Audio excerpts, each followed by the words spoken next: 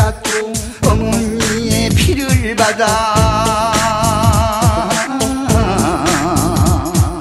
언니 몸에 열 달 채워 아기 육신 탄생하여 그 자식을 길러낼 때 어떤 공도 들었을까?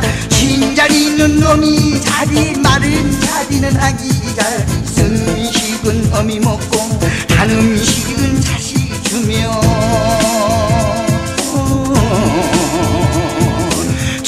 칠, 팔월 한도의 밤에 모기에 뜯길세라. 고난 잠을 설치면서 부채질을 해주시며 동지서 딸 서랑 중에 백설 펄펄 날리는 그 자식이 출세라. 감싸주고 덮어주며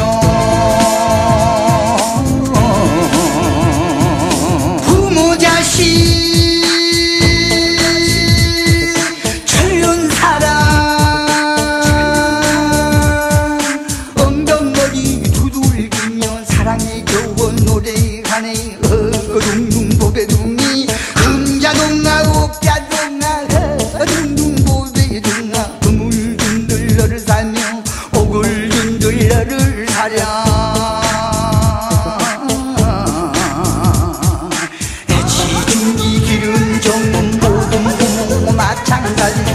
산이라도 몰세라. 힘들어 기른 자식 부르 자식 태어나면 배불리